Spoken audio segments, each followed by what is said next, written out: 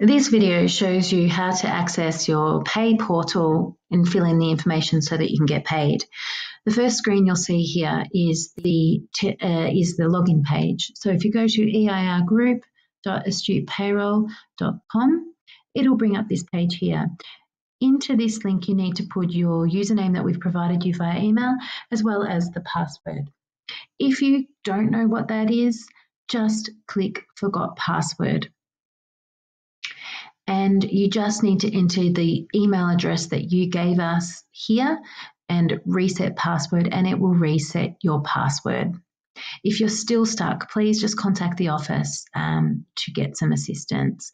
I do know my password in this instance, so I'm going to put in my username, which is normally first name and last name, and then my password that I was provided, and click login. This is the dashboard where all of your information um, is held. What you need to do in order to get set up to work is click on this profile button. And once you're in the profile, simply go to all of these nasty red little exclamation marks and complete them until there's no more left. So if I say my date of birth is the 1st of January 1975, my street address, put in our work address here, phone number, our work number here, the town or suburb. The country is Australia, the region is the state. So that's New South Wales or SA, depending on which state you're actually in. Make sure you keep this ticked because this is where it'll give you information that you may need to have completed further. So that's where you'll see new notifications, relevant notifications. And then if we go to the next section, we'll look for what else is red. Ah, bank account. Definitely need that. Put the account name.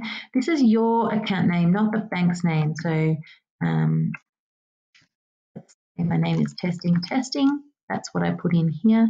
My BSB number is a six digit number that the bank has provided you. Let's say it's a Commonwealth Bank BSB, then normally this, it might be something else. And your account number, take it down correctly. If you make a mistake, the bank, the money will go into that bank account and not yours.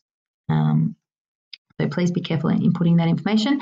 The tax and super information is also important. You need to provide us with your tax file declara- uh, tax file number and to complete your tax file declaration online. So you simply click here. You input all of your information that's asked for here and continue on. Please note, if you are a working holiday maker, you need to select working holiday maker here so that you're um, taxed the appropriate amount.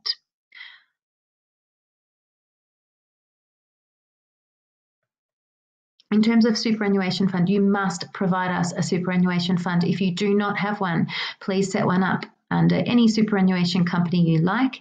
Our default is sunsuper.com.au. It takes about 15 seconds to set yourself up under that. So please do feel um, get yourself a superannuation fund and then provide us that detail.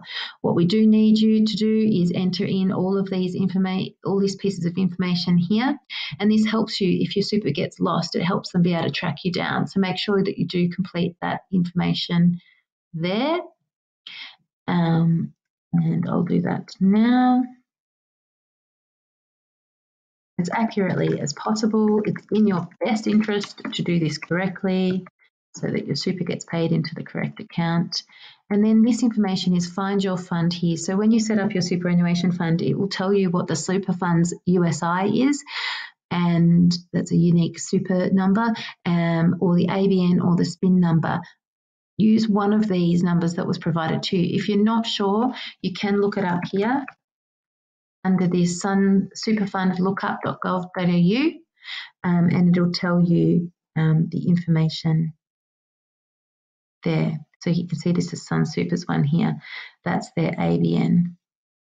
So as long as you provide one piece of information here that's correct, it'll make sure that it gets into your correct super account. If we can't, if you give us the wrong information here and we can't find the fund and we can't get in contact you with you, we actually drop the money into a Sun Super create, account that's created for you. We are legally obligated to pay your superannuation. So if we can't get in contact with you, can't get a number from you, that's where it will actually go. Um, you can see here it's identifying this fund for you. So you say that's fine. Next. Um, and this is the member number that they would have provided you. And the num the your account name will normally just be your name.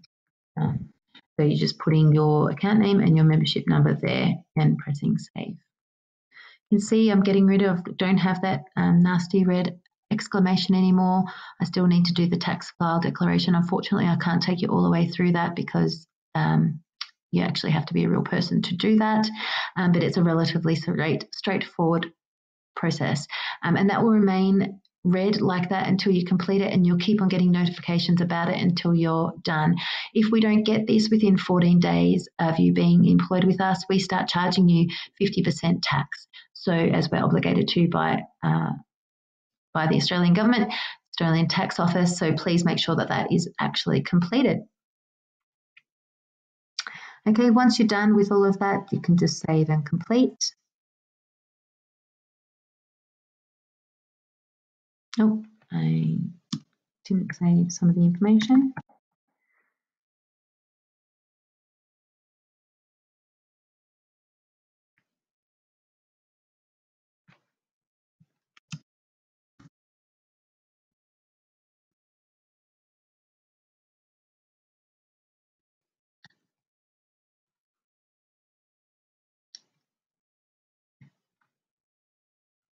and we're done.